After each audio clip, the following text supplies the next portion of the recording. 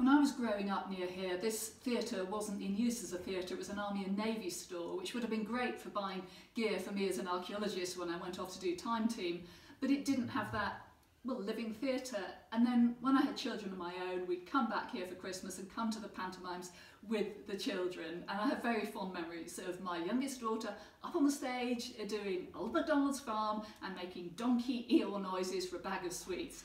That's a sort of community feel of having something really rich in a small community like Bungay. You don't have to go to Norwich to go to the theatre, you can come here. That's why I'm supporting this appeal.